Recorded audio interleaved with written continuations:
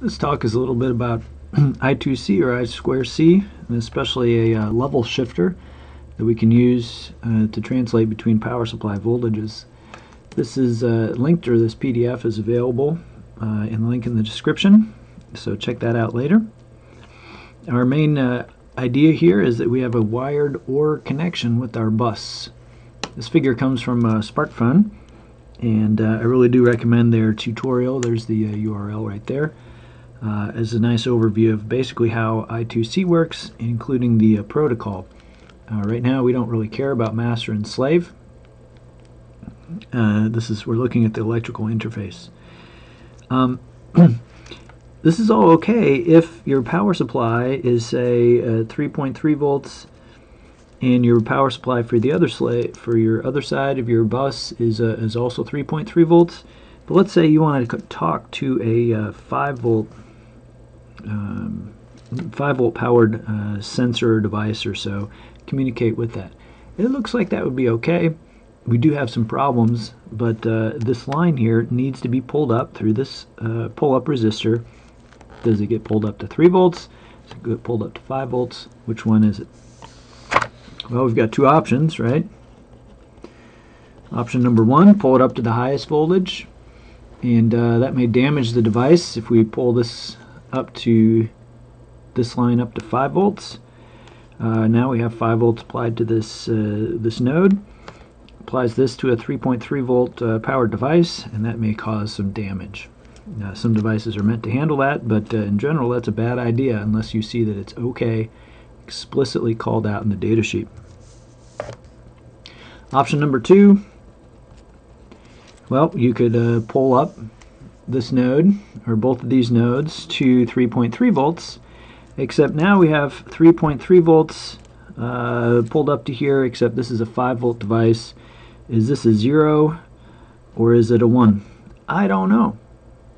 Alright, sometimes uh, uh, we're told in the data sheet of this device, but in general, I want to pull this node all the way up to 5 so that there's no ambiguity whether uh, this is a 0 or a 1. Yes, I know that 3.3 is above 2.5, but uh, did you read the data sheet uh, for this device? What is the logic levels and what are those thresholds? If you're just guessing, uh, you're not doing engineering. All right, so we have this situation. These are requirements. Two requirements for an uh, for I2C. Any device must be able to pull the bus down to zero.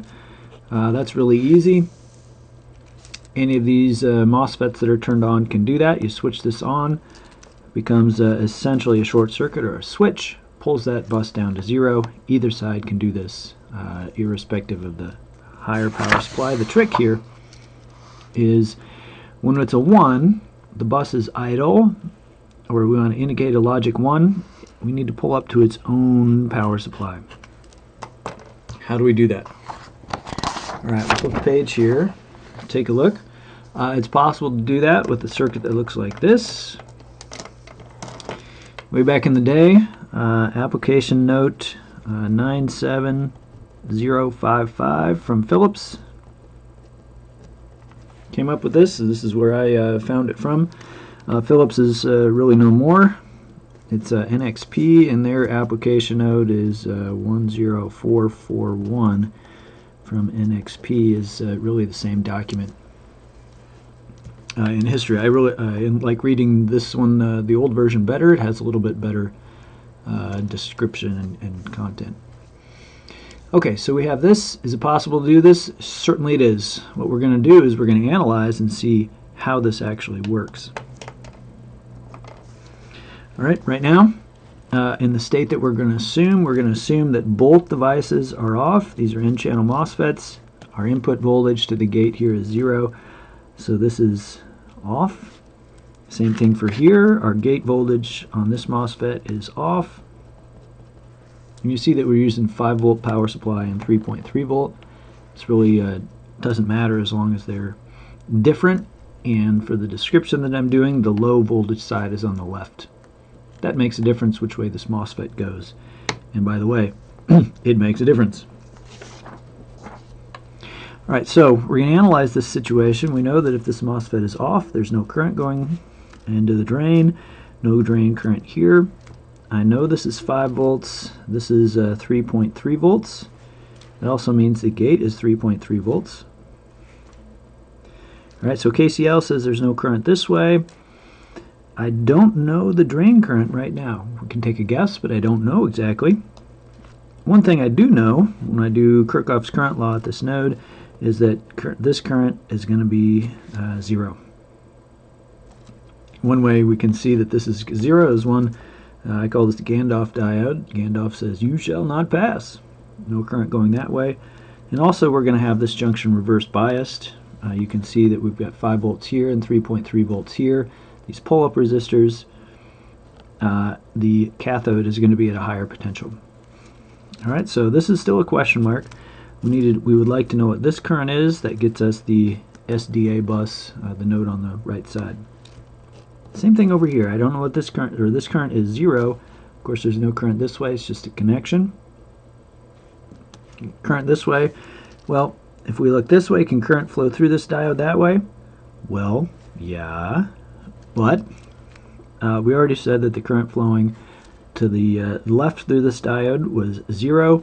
So we might say this arrow are in both both directions or opposite directions. You could say it's minus zero. Yes, current can flow that direction in the diode, but in this situation, this side is probably going to be higher potential. So no current uh, flowing that way.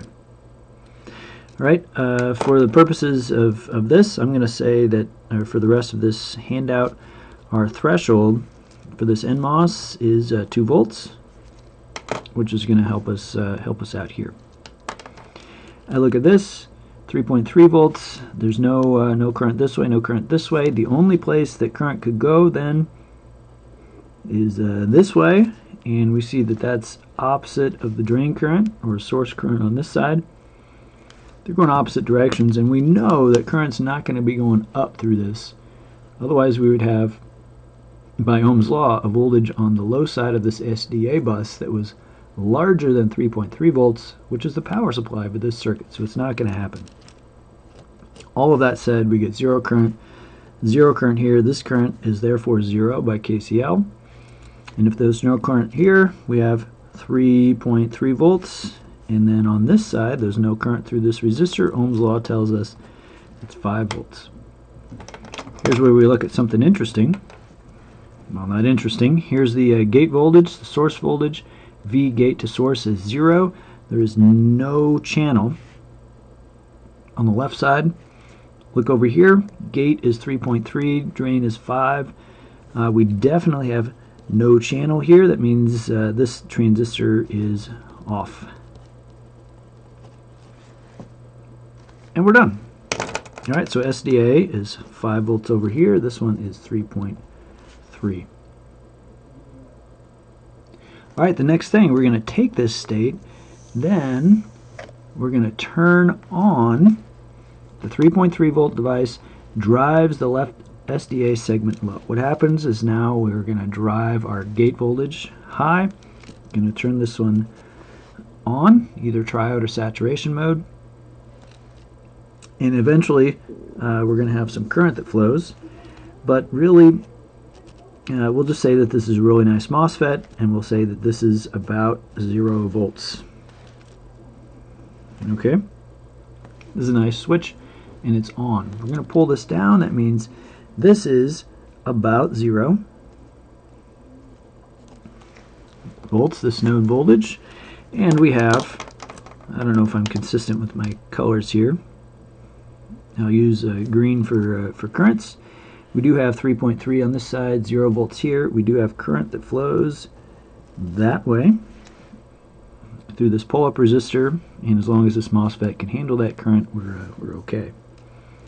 Remember, this voltage here is still 3.3. It's just tied directly to the low voltage power supply. This node is 0. We have uh, 3 to here. 3.3 minus 0 for our gate to source voltage. Remember our uh, threshold voltage was 2 volts, so our channel, uh, it's a mess of colors. Uh, yes, we do have a channel on the left side. let's look at what happens on the right side. Well, we do know we're going to have drain current flowing that way. This right side is going to be uh, 5. Okay, we have current coming this way. It's going to go this way. Remember, this one is still off. Current flows here, drain current, drain current would flow here, and we get uh, extra current going this way. What is this voltage on the right side? Mm, it's going to be turned on. This is going to go down. This node voltage is going to start high, and then it's going to go down to zero uh, volts in time. So I'll say that this node is also zero volts on the right side. If we have zero here, we have zero here, drain to source voltage is uh, clearly zero. And we do uh, have a channel on the right side, on the drain side. This MOSFET is in triode mode. Okay, this is also zero volts, and uh, and we're done.